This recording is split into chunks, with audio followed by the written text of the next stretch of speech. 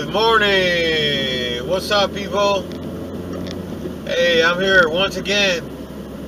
This is our Herbert Let's Go channel. And welcome back.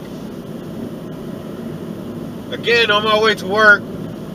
It's Thursday morning, 6:48 a.m. And I'm taking another back road through uh, Clifton. Uh, this time I'm gonna take a back road. It's like a dirt road mixed with a little asphalt, but it's like really hidden.